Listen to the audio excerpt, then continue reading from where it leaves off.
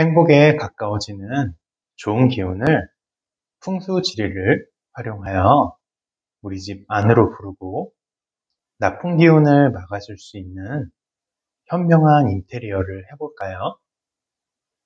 안녕하세요 여러분 비 오고 나서 갑자기 바람이 차가워졌네요 단순 바람막이 점퍼로는 막을 수 없을 것 같으니 조금 두터운 외투를 준비하셔서 외출하는 것이 좋겠어요. 건강 유지가 최고니까요. 오늘은 풍수지리 활용 방법에 대해 이야기해 볼 텐데요. 그래요. 이해해요. 저도 10년 전까지만 해도 전혀 믿지 않았어요. 지금도 믿지는 않지만 해서 나쁠 것 없다는 입장의 변화라고 할까요? 그런데 여러 대기업이 실제로 사업을 새로 지을 때 풍수 전문가의 도움을 구해 자문을 얻어 건축한다는 이야기 혹시 들어보셨나요? 저는 부의풍수라는 책에서 사업뿐 아니라 기업의 회장님이 거주하는 공간을 선택할 때에도 많은 자문을 구했다고 전문가 선생님께서 이야기해 주신 것들을 들은 적이 있어요. 이렇게 크게 성공하신 분들이 신경을 쓰는 풍수지를 이용해서 우리 집도 좋은 기운을 불러올 수 있도록 바꿔보시는 건 어떨까요? 말 그대로 재미로 말이에요. 정보를 듣고도 그때 회복이라도 할 것을 이라고 후회하는 것보다는 재미삼아 한번 실행에 옮기는 것도 좋을 것 같아요. 우리 같이 한번 해볼까요? 아니면 말고 라는 가벼운 마음으로 재미있게 시작해 볼게요. 우선 우리가 집에 들어갈 때 어디부터 손을 대나요? 맞아요. 현관이죠. 실제로 풍수에서 복이 들어오는 입구로 현관 입구를 이야기하고 있어요. 물의 영역이라고 부가적인 설명을 하면서 말이죠. 물의 기운이 재물과 밀접한 연관이 있기 때문에 시작점으로서 중요하다고 하더라고요. 이번 영상에서는 피해야 할 상황을 먼저 설명해 드리고 어떻게 대처해야 하는지 먼저 이야기하도록 할게요. 첫 번째로 현관 입구를 볼 건데요. 비에 젖은 우산을 집으로 가지고 들어오는 것은 가능하다면 자제해 주세요. 물이 음기를 가지고 물로 인해서 우울한 기운이 집 안으로 들어올 수 있기 때문에 현관 밖에서 말린 후에 가지고 들어오셔서 수납장에 보관하시는 것이 최선이라고 하네요. 독이나 스테인리스로 된 우산 정리 용품의 사용도 좋다고 해요. 신발도 수납장에 보관하는 것이 좋고요. 집 안에서 실내용 슬리퍼를 사용하신다면 정갈한 나무 소재의 슬리퍼 꽂이를 보관하면 사업운이 좋아질 수 있다고 해요. 거울의 위치가 현관문과 정면을 바라보고 있다면 왼쪽이나 오른쪽에 위치할 수 있도록 자리를 옮겨주세요. 정면에 있으면 문이 반사돼 나갈 수 있다고 하네요.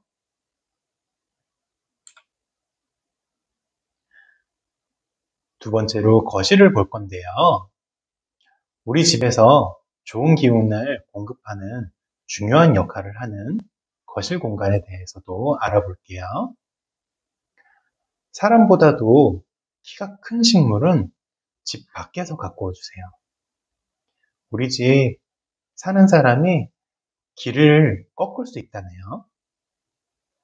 식물을 가꾸면 인테리어 효과도 있고 정화 능력도 있기에 좋게 생각했는데 꼭 그렇지만은 않은가 보네요. 특히 선인장, 안개꽃, 죽은 식물, 은행나무가 집안에 있으면 좋지 않다고 하니 참고해 주세요. 뾰족한 물건인데 사진이나 그려져 있는 액자를 걸지 말아주세요. 우리 소중한 가족이 다칠 수 있다고 하니 조심해야겠네요. 반면에 꽃 그림이나 풍경화는 금전운을 올릴 수 있다고 해요. 창문이 넓고 크면 햇빛이 잘 들어와서 밝은 집이 되지만 너무 큰 창문은 약한 가족 구성원의 건강을 해칠 수 있다고 하네요. 크기뿐 아니라 창문 수량도 지나치게 많아도 좋지 않다고 해요. 세 번째로 침실을 볼 건데요. 행복을 위한 좋은 기운이 모일 수 있는 공간인 침실에 대해서도 무엇을 조심해야 할지 알아볼게요. 침대를 비치는 거울은 애정운을 떨어뜨릴 수 있다고 하네요. 저는 그 반대일 줄 알았는데 말이죠. 대신 침대 양옆에 두는 협탁은 나쁜 기운을 막아줄 수 있다고 하니 양쪽에 모두 놓는 것이 좋겠네요. 창이나 벽에 붙은 침대도 좋지 않다고 해요. 그래서 그런가 모델하우스 같은 데 가면 침대가 항상 방 가운데 위치하고 있었던 것 같아요. 방 가운데에 침대를 배치하면 디귿자로 활동을 해야 돼서 매번 공간 활용을 핑계로 벽 쪽이나 창 쪽에 붙였었는데 당장 바꿔야겠어요. 집 안에 모든 장소에 밝은 조명이 좋지만 유일하게 침실 조명만은 어두워야 금전운이 올라간대요. 그렇다면 저는 집에 가서 침실 등부터 부셔야겠네요. 주방으로도 한번 가볼까요? 우리 가족의 건강을 의미하는 주방은 가장 강한 음기를 가지고 있는 공간이라고 해요. 그렇다면 무엇을 조심해야 할까요? 포크나 칼은 밖으로 꺼내어 놓는다면 누구든지 다칠 위험이 있으니 수납함에 잘 넣어두시는 것이 좋다고 해요. 음, 이 부분은 굉장히 상식적이네요. 그릇을 거꾸로 엎어서 그릇장에 쌓지 않는 것이 좋다고 해요. 우리 집에 들어온 좋은 기운이, 좋은 기운이나 복이 담기지 못할 수 있다고 하니 바로 쌓아 보관해야겠네요. 벽에 붙인 식탁도 조금 공간을 둬야겠어요. 벽에 딱 붙어 있는 식탁 때문에 우리 집에 들어올 운이 막힐 수도 있다고 하네요. 냉장고나 싱크대와 마주보고 있는 가스레인지는 배치를 바꾸시면 좋을 것 같아요. 마주보게 그냥 두면 가족 간의 말다툼이 잦아질 수 있다고 하네요. 다섯 번째로 욕실을 볼 건데요. 화장실은 좋지 않은 기운을 배출하는 공간으로 이해하게 되네요. 좌변기는 좋지 않은 기운을 가장 많이 배출하는 공간이라 변기 뚜껑은 번거롭더라도 꼭 닫아주시는 것이 좋다고 하네요.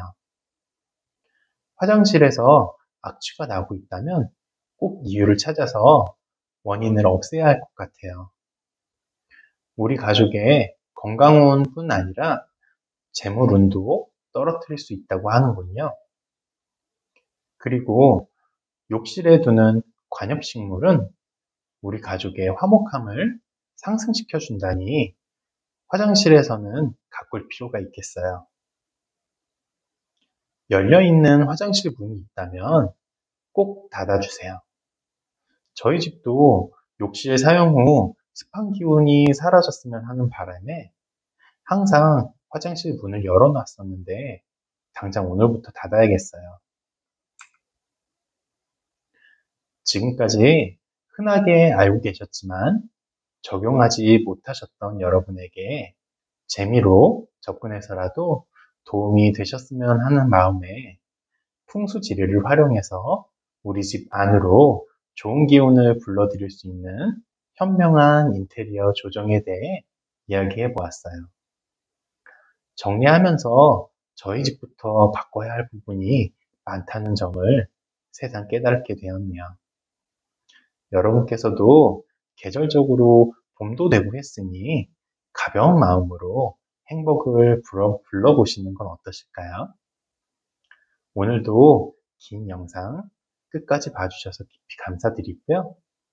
매번 찾아주시는 여러분 덕분에 지치지 않고 열심히 준비해서 내일도 꾸준하게 성장하는 당신의 뜰로 인사드릴 것을 약속드리며 마무리할게요. 고맙습니다.